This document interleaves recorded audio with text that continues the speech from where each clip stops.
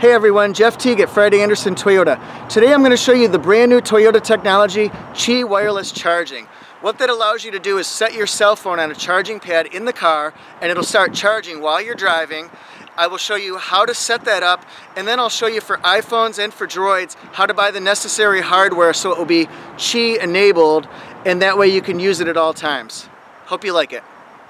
Here's how the Qi wireless charging works in a 2015 Toyota. In this case, I'm using an Avalon. Let's go down here to our E-Bin storage. Here's our Qi wireless charging pad. To open the E-Bin, push it forward. To close it, you also push it forward, then it releases. Let's leave it open. And down here, you'll see the Qi wireless charging button. So push this button here. That turns it on. My phone is not compatible because I don't have extra hardware that's needed. I have the Samsung Galaxy S5, but for demonstration purposes, let's put it on our pad here.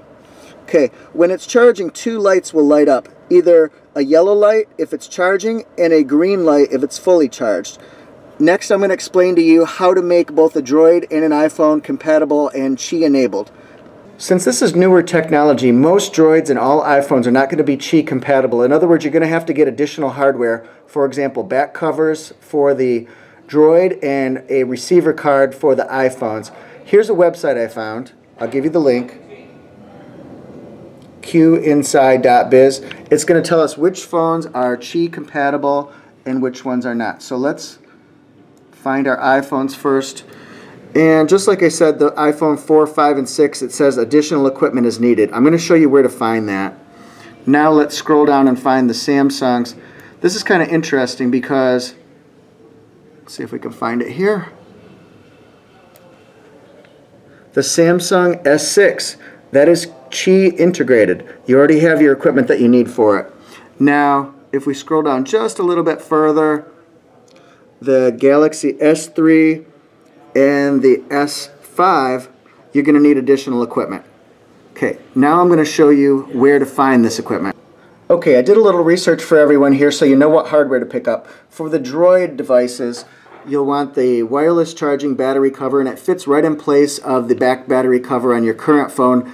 The only warning I'll tell you is I have read some reviews. It looks like it changes the shape of the, v, uh, of the uh, device, makes it a little bit bigger, so be careful if it'll fit your current case or not. The price seemed real reasonable, $21.99. I found a similar device, the Samsung wireless charging cover. Price seemed real reasonable at Best Buy. I'm not sure if that's online or in the stores, but I'll bet you could either get it online or actually at the store. And then what I did was I went to Amazon for the iPhone device, and it's the Qi wireless charging receiver, and it fits the iPhone 6 and the iPhone 5 uh, feel free to go to the stores and ask the folks at Best Buy, and I'm sure they can hook you up with the right equipment. Remember, as soon as you put that cover on the back or the receiver on the phone, all you have to do is lay it on the Qi wireless charging pad in your Toyota and push the button and it'll start immediately. Please subscribe to my YouTube channel if you found this video helpful. I have many other Toyota related videos and I'll see you next time.